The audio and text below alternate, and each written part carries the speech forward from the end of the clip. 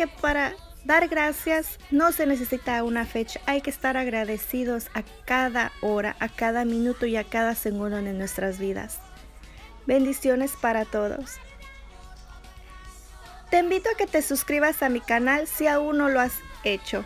También, por favor, es muy importante que actives la campanita para que te mantengas informado cada vez que subo video.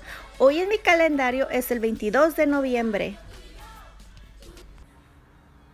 Hola, bienvenidos a mi cocina. Hoy en mi calendario tengo una fecha muy importante. Yo sé que, no solamente yo, sino muchas que estamos aquí en Estados Unidos vamos a preparar una cena deliciosa para nuestra familia, para Thanksgiving.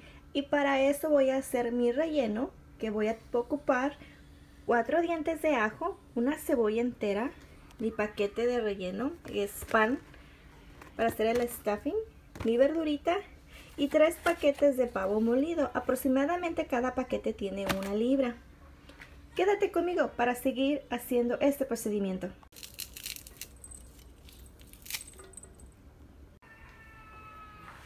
Bueno, yo ya puse aceite y mi ajo bien picadito y ahorita lo que voy a estar haciendo va a ser agregar mi cebolla vamos a agregar la cebolla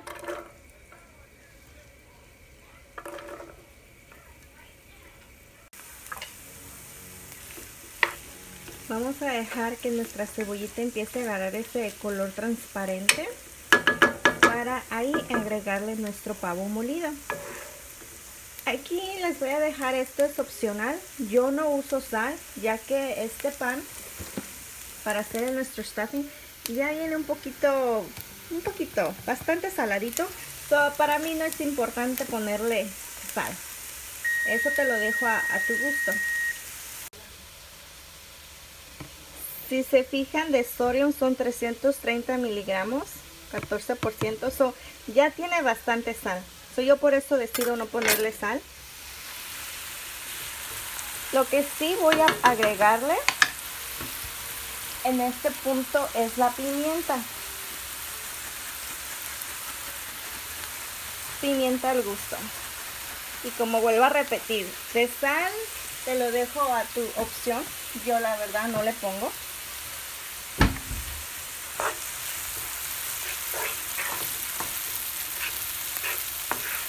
Ay, ya mi cocina empieza a oler riquísimo.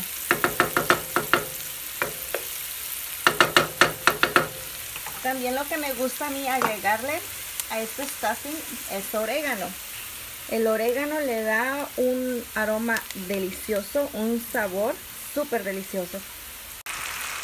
Bueno, yo aquí ya puse mis tres paquetitos de pavo molido. Lo que voy a hacer, voy a expandir toda la carne muy bien.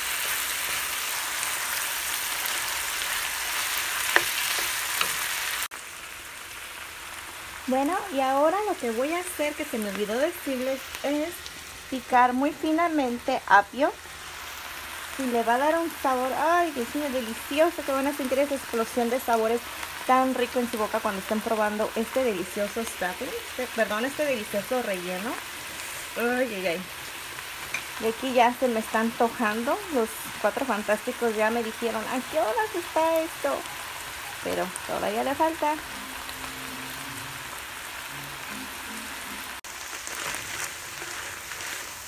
El apio le da un sabor muy rico al stuffing, de verdad. Mis cuatro fantásticos ahorita estaban jugando atrás y llegaron y dicen, ¿qué es eso que huele tan rico? Pero mira, es esto. Bueno, ya que incorporamos muy bien nuestro apio, ahora lo que voy a hacer es agregarle nuestra verdura.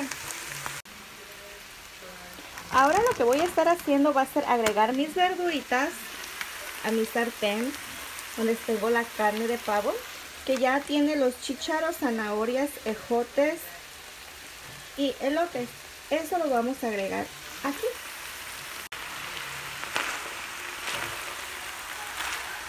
Uy, qué rico. Qué delicioso huele mi cocina. Uy, no.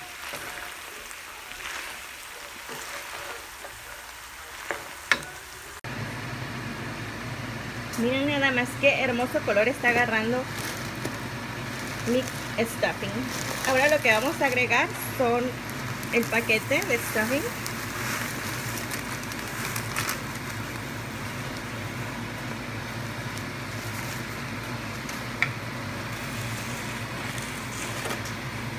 Vamos a mezclar muy bien. Ay, no, no, no. Qué delicia. Miren nada, miren nada más. Qué ricura, qué ricura. Uy, sabroso.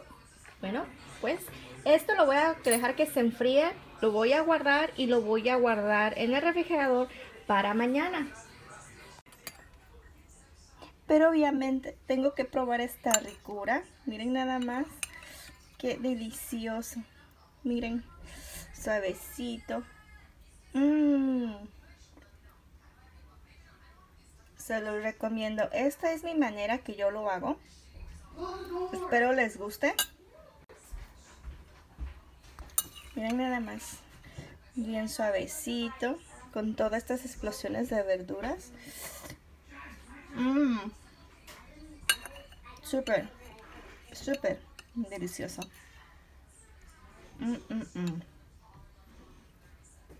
Espero te haya haber gustado. Como pudieron ver, es una receta como la tabla del 1, bien facilita. No es nada complicado. Y está delicioso.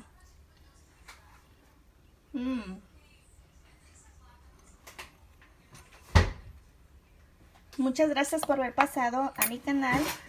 Bendiciones. Y hasta pronto.